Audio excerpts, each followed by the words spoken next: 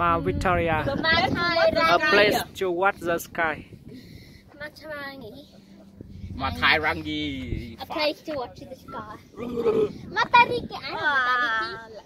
Đảo. Ở đây chúng ta thể ngắm toàn bộ cảnh thủ đô của New Zealand.